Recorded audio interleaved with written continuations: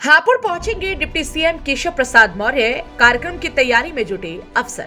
नमस्कार, मैं रश्मि पांडे और आप देख रहे हैं हापुड़ हलचल। प्रदेश के उप मुख्यमंत्री केशव प्रसाद मौर्य 4 अप्रैल, यानी कि कल जनपद में पहुँचेंगे।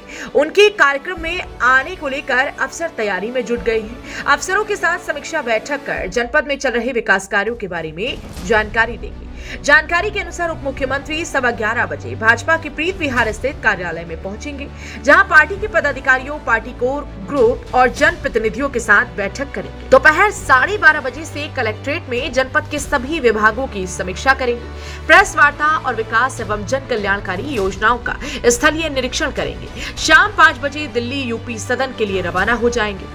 अफसर समीक्षा बैठक की तैयारी में जुटे। वहीं डिप्टी सीएम का कार्यक्रम आने के बाद विभिन्न विभागों के अफसर समीक्षा बैठक की तैयारी में जुट गए हैं। इसके साथ ही भाजपाई भी उनके स्वागत की तैयारी में लगे